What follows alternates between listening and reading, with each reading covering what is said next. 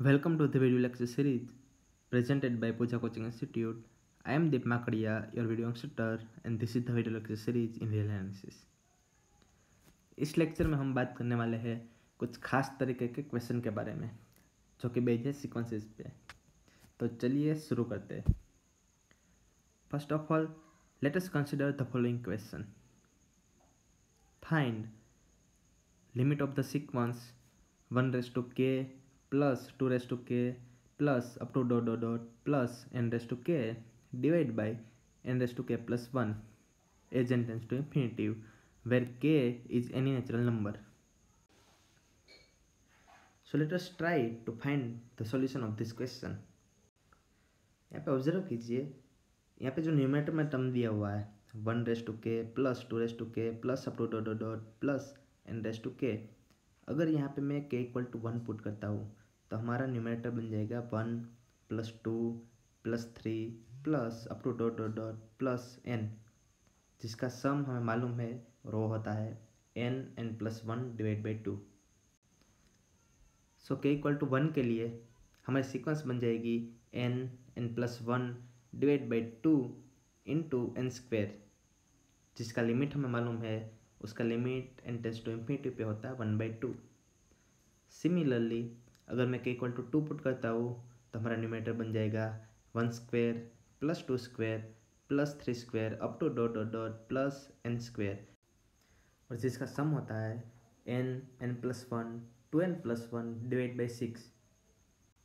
so k equal to to के लिए हमारी सीक्वेंस बन जाएगी n n plus one two n plus one divide by six into n cube और उसकी लिमिट होती है one divide by three similarly जब मैं के इक्वल टू थ्री पुट करूँगा, तब हमारा न्यूमेटर होगा one cube plus two cube plus up to dot dot plus n cube जिसका सम है n square into n plus one square divide by four so अगर मैं के इक्वल टू थ्री पुट करता हूँ तो हमारा सीक्वेंस होगा n square n plus one square divide by four into n does to four in this case उसकी limit आएगी one divide by four so यहाँ पे ऑब्ज़र्व करो कि अगर मैं के इक्वल टू वन लेता हूँ तो हमारी लिमिट जो आती है वो हमारी लिमिट आ रही है वन बाई टू अगर मैं के इक्वल टू टू पुट करता हूँ तो हमारी लिमिट आती है वन बाई थ्री अगर मैं के इक्वल टू थ्री पुट करता हूँ तो हमारी लिमिट आती है वन बाई फोर सो अगर मैं के इक्वल टू फोर पुट करता हूँ तो मोस्ट प्रोबेबली हमारा आंसर क्या होना चाहिए? One by five so in general any natural number k के लिए पिछले ऑब्जर्वेशन से मैं ऐसा बोल सकता हूँ कि उसकी लिमिट जो आएगी, वो आएगी one divide by k plus one so हम ऐसा गैस कर सकते हैं कि हमें जो सीक्वेंस की लिमिट चाहिए, वो लिमिट आएगी one divide by k plus one but हमें अगर ये चीज़ प्रूव करनी हो तो हम कैसे करेंगे? यहाँ पे देखो, जब हम के इक्वल टू वन पुट करते थे, तब हमारा न्यूमेटर हो जाता था one plus two plus up to dot plus n उस केस में हमें वन से लेके एन तक का सम मालूम था, जो कि होता है n n plus one divide by two similarly k equal to two के केस में भी हमारा न्यूमेटर बन जाता था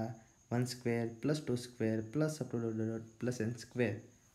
उस चीज़ में भी हमें उसका सम मालूम था और similarly k equal to three के केस में भी हमें उसका सम मालूम था. बट जब हम के इक्वल टू फोर पुट करते हैं, तब तब जो हमारा न्यूमेटर है, वो हो जाता है one raise to four plus two raise to four plus up to dot dot plus n raise to four और ज़्यादातर हमें इसका सम मालूम नहीं होता क्योंकि हमें स्कूल लेवल और कॉलेज लेवल में क्या सिखाया जाता है? क्यूब तक का ही फॉर्मूला सिखाया जाता है, okay?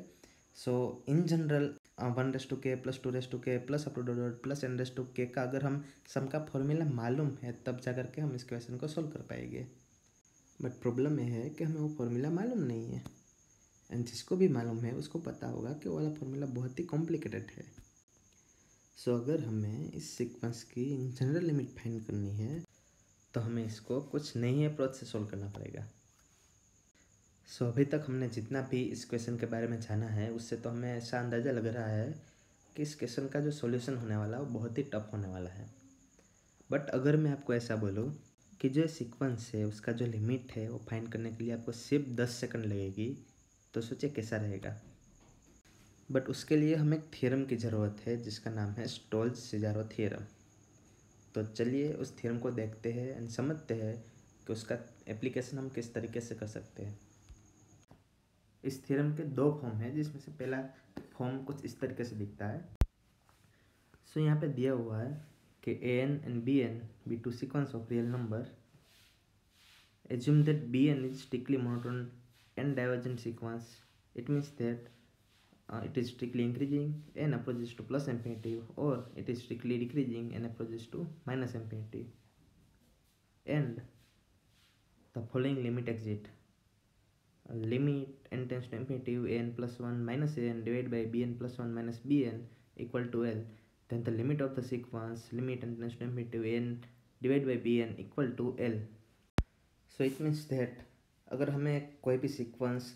इस फॉर्म की दी हुई है n divide by b n और हमें उसके एन टाइम्स इंटेंसिटी पे लिमिट फाइंड करनी है। और प्रोवाइडेड बी एन जो सीक्वेंस दिया हो मोनोटन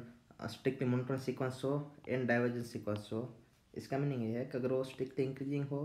तो वो टेंस टू प्लस इन्फिनिटी होगा, क्योंकि हमें कौन कौन सी सीक्वेंस दी है? डाइवर्जेंट सीक्वेंस दी इसलिए। और जब स्ट्रिक्टली डिक्रीजिंग होगा तो वो टेंस टू क्या होगा? माइनस इन्फिनिटी होगा। ओके तो उस केस में ये वाली जो लिमिट है, वो लिमिट अगर हमें फाइंड करनी है तो हम अगर ए वाला टर्म की लिमिट अगर फाइन कर लेते हैं तो भी हमारा काम हो जाता है। So now back to our original question यहाँ पे जो सीक्वेंस दी हुई है सीक्वेंस कुछ इस टाइप की है। One raise to k plus two raise to k plus up to dot dot dot plus n raise to k divide by n raise to k plus one अगर हम इसको stall से ज़रूर theorem से compare करते हैं तो हमारा एन जो होगा, वो एन बन जाएगा n equal to one raise to k plus two raise to k plus up to dot dot dot plus n raise to k और जो हमारा बी एन है बी एन बन जाएगा n raise to k plus one okay so यहाँ पे देखो B n जो हमें दिया हुआ, वो बी एन वो स्टिकली इंक्रीजिंग सिक्वेंस भी है? एन वो टेंस टू प्लस इन्फिनिटी भी हो रही है। सो स्टोल सिजारो थीरम की सभी हाइपोथेसिस का होल्ड हो रहा है।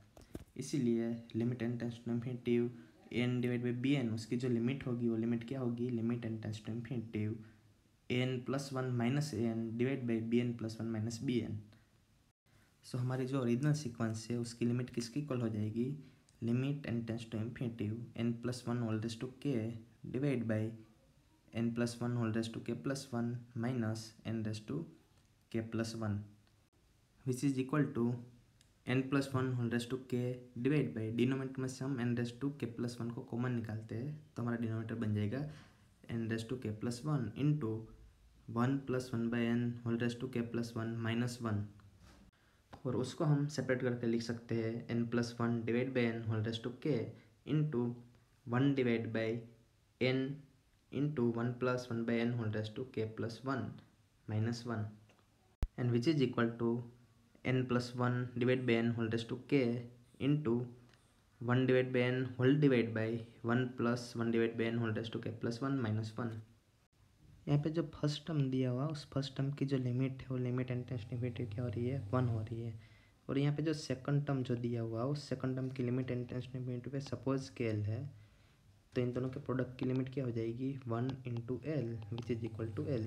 तो हमें जो रिक्वायर लिमिट फाइंड करनी है, वो रिक्वायर लिमिट एल होगी, जो कि इसकी लिमिट के इक्वल होगी। तो हम ए वाले टर्म की लिमिट फाइंड करने की कोशिश करते हैं।